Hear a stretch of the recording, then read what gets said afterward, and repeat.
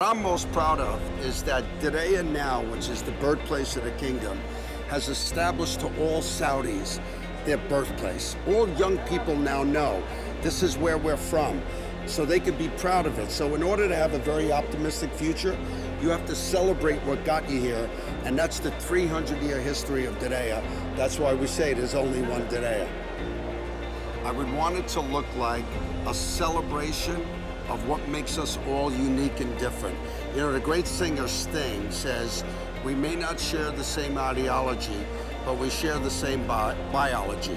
What I love is that we're all the same. If you cut your finger, you bleed the same. But isn't it beautiful that we dance differently, dress differently, cook differently, sing differently?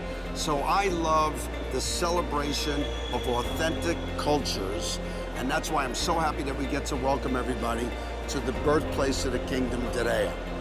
This is pointing in the direction of the return to humanity, civilization, and a source of national pride. That's my direction. That's where we're going, back to humanity.